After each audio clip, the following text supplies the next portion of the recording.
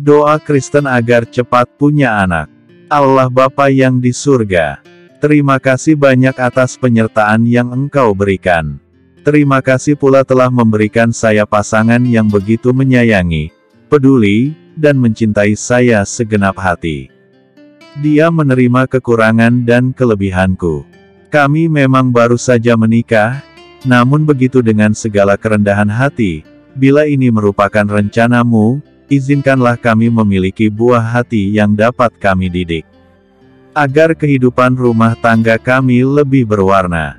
Dalam nama Tuhan Yesus dan Roh Kudus, saya memohon. Amin.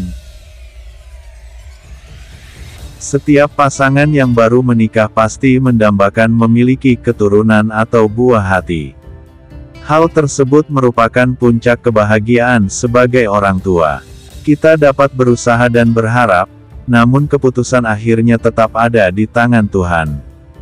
Dia telah memiliki rencana yang baik bagi kita, apakah segera memberikan kita keturunan, ataukah kita harus menunggu untuk waktu yang lebih lama. Yang penting kita harus percaya bahwa Tuhan Yesus Maha Baik, rencananya merupakan kebaikan bagi diri kita. Setiap apa yang ditentukan oleh Tuhan akan membawa sukacita bagi diri kita, pasangan, serta keluarga dan tentunya orang lain.